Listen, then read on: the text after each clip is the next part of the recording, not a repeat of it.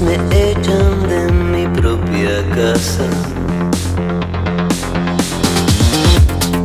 Una hora antes que me lo merezca. El tiempo es curioso como aquel jurado. Ese show de baile